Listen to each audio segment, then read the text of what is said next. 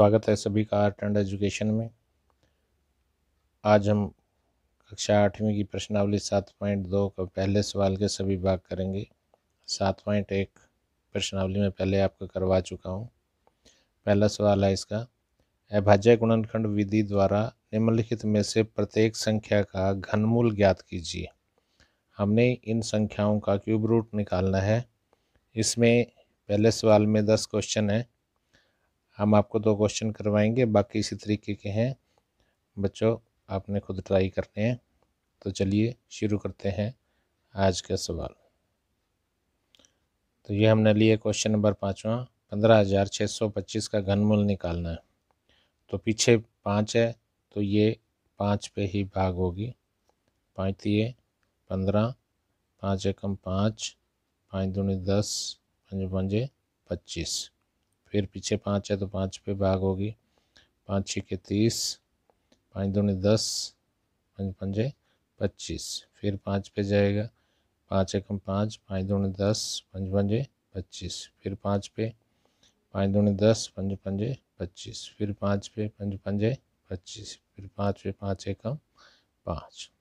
तो इस प्रकार हमारे पंद्रह हज़ार छः सौ पच्चीस के अभाज्य गुणनखंड बन गए। हम इसको क्यूब रूट में लिख लेंगे। बराबर एक, दो, तीन, चार, पाँच, छः। पाँच गुणा पाँच गुणा पाँच गुणा पाँच गुणा पाँच गुणा पाँच। और इसके ऊपर भी क्यूब रूट लगा देंगे, यहाँ तीन लिख देंगे। अब ये तीन तीन के समूहों में है, इनमें से एक एक को बाहर निकाल लेंगे, ये इसका क्यूब रूट होगा। तो हमारा आंसर आ गया पाँच गुणा में पाँच, पच्चीस। तो पंद्रह हज़ार छः सौ पच्चीस का क्यूब रूट आ गया, यानी कि घनमूल आ गया, पच्चीस। ये हमारा आंसर है। चलिए, एक और सवाल लेते हैं इसी में, क्वेश्चन नंबर नाइन्थ। तो ये देखिए, पीछे सम संख्या है तो ये दो पे भाग होगी।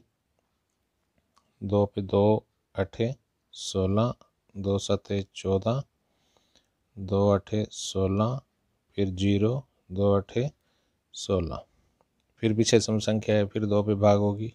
दो चौके आठ, दो तीय छः, दो में अठारह, ज़ीरो, दो चौके आठ। फिर सम संख्या है, फिर दो पे भाग होगी। दो दूनी चार, दो एकम दो दो में अठारह दो पंजे दस, दो दूनी चार। फिर देखिए सम संख्या आ गई। दो पे, दो कम दो। यहाँ एक, दो से कम में तो ज़ीरो लगाएँगे। दो में अठारह, दो सत चौदह, दो छिके बारह। फिर दो पे, दो पंजे दस, दो चौके आठ, दो अठे सोलह, दो अठे सोलह। फिर दो पे, दो दूनी चार दो सतह चौदह, दो चौके आठ, दो चौके आठ। फिर सम संख्या दो पे ही भाग होगी। दो एकम दो दो तीन छः, दो सतह चौदह, दो दूनी चार। फिर दो पे दो छिके बारह, दो अठे सोलह, दो छिके बारह। फिर दो पे दो तीन छः, दो चौके आठ, दो तीन छः। अब देखिए पीछे विषम संख्या आ गई है। तो अब ये दो पे भाग नहीं होगा। तीन से भाग करने की विधि में बता चुका हूँ कि सभी संख्याएँ तीन से, इनका जोड़ तीन से भाग होना चाहिए, चार तीन सात तीन दस, जो कि तीन से भाग नहीं हो रहा। तो फिर अगली संख्या देखेंगे हम। तो पाँच पे भी भाग नहीं होगा, पीछे तीन है तो अब ये सात पे जाएगा। सात चौके, अट्ठाईस, सात निमे तिरसठ। सतु सत्य उनचास, सात एकम, सात। तो इस प्रकार ये हमारे अभाज्य गुणनखंड आ गए।